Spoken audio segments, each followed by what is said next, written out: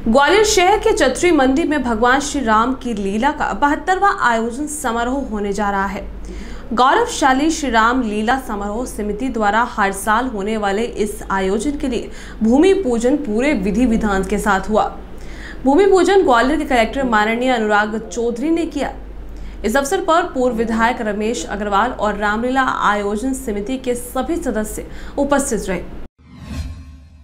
उत्तर प्रदेश के फतेहपुर ज़िले में माह मुहर्रम का चाँद नज़र आते ही यहाँ मुस्लिम समुदाय करबला में शहीद हुए इमाम हसन हुसैन की यादों को ताज़ा करने के लिए उनकी याद में अपने अपने अंदाज में ताज़े अदारे करते हैं।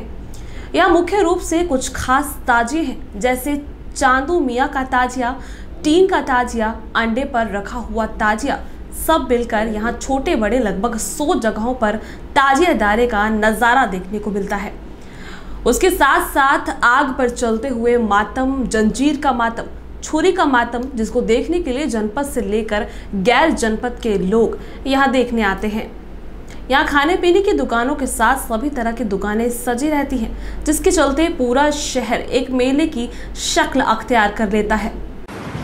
जी, मुहर्रमुल हराम का महीना एक तारीख से शुरू होकर 11 तारीख को चांदू मियाँ का तादिया अपने इमाम बाड़े पर सुबह 10 बजे पहुँचने के बाद अख्ताम की मंजिल पर पहुँचता है। ये महीना शुरू होते ही मुस्लिम समाज के लोग बहुत ही खुशू और फजू के साथ अल्लाह की इबादत में मशगूल हो जाते हैं और खसूसियत के साथ आशूरा का रोज़ा रख करके अल्लाह ताला की बंदगी करते हुए अल्लाह के काम पर अमल करते हुए रोज़ा रख कर प्यारे आका सल्लल्लाहु ताला अलैहि वसल्लम और अल्लाह ताला की खुशनुदी हासिल करते हैं। लिहाजा मुस्लिम समाज के लोगों को चाहिए कि जिस तरीके से इन दिनों में इबादत की है, उसी तरीके से पाबंदी के साथ पूरे साल अल्लाह की इबादत करके अल्लाह के फरमा बरदार बंदे बने और गलत अफवाहों पर ध्यान न देकर अमन व भाईचारे को कायम रखे। और मैं ये कहूँगा, हिंदू मुस्लिम सिख ईसाई, आपस में है सब भाई भाई। नफ़रतों की छोड़ो बात, आओ लोगों एक साथ। प्यार, मोहब्बत, भाईचारा सबसे बेहतर शहर हमारा। प्रधानमंत्री नरेंद्र मोदी ने भले ही सांसदों और विधायकों को अपने रिश्तेदारों को मर्यादा में रखने और दबंगाई ना करने के निर्देश दे रखे हों, मगर यूपी के बुलंदशहर में चांदपुर की भाजपा विधायक कमलेश सैनी के दामाद और उनके परिजनों की दबंगई का एक वीडियो सामने आया है, जिसमें विधायक के दामाद ने अपने भाइयों के साथ मिलकर पड़ोसी पेट्रोल पंप संचालक को जमकर पीटा। भाजपा विधायक के दामाद की दबंगई का वीडियो वायरल होने के बाद पुलिस ने चांदपुर की भाजपा विधायक के दामाद और उसके तीन भाइयों सहित चार के खिलाफ मामला दर्ज कर लिया है और अब कार्रवाई करने का दावा कर रही है। खुर्जा नगर में, जहाँ पर दो पक्षों के बीच में मारपीट हुई है। दोनों पक्ष पेट्रोल पंप के संचालक हैं अगल बगल पेट्रोल पंप है।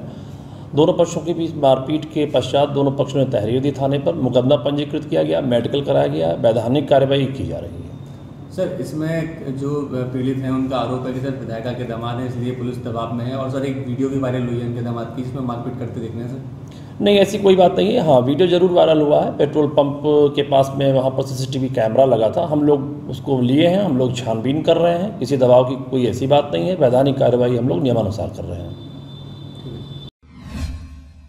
मेरठ मेडिकल थाना क्षेत्र के जागृति विहार निवासी विशाल सोमवार दोपहर अचानक अस्पताल परिसर में घुसा और अस्पताल की चौथी मंजिल से कूदकर आत्महत्या कर ली। अस्पताल के सिक्योरिटी गार्ड के मुताबिक युवक को अस्पताल में घुसने से रोकने की काफ़ी कोशिश की गई, लेकिन वह बिना रुके हॉस्पिटल की चौथी मंजिल पर जा पहुँचा, जिसके बाद युवक ने छलांग लगा दी और सिर के बल ज़मीन पर आ गया। युवक ने यहाँ से हॉस्पिटल की चौथी मंजिल से कूद कर जान दी क्या पूरा मामला?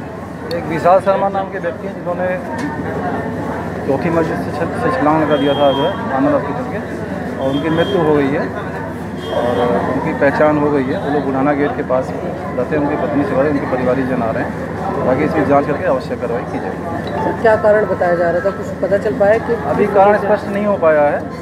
बाकी परिजनों से बात करने के बाद और जाँच के बाद क्लियर हुआ कि इन्होंने ऐसा क्यों किया। सर हॉस्पिटल की चौथी मंजिल पर लॉन्ड्री भी है और एक युवक ऐसा अचानक से पहुँच जाता है और टूट जाता है। और तो ऐसे में हॉस्पिटल के खिलाफ भी कुछ कार्रवाई सीसीटीवी कैमरे वगैरह की जाँच की जा रही जो जो भी सही होगा वो किया जाएगा।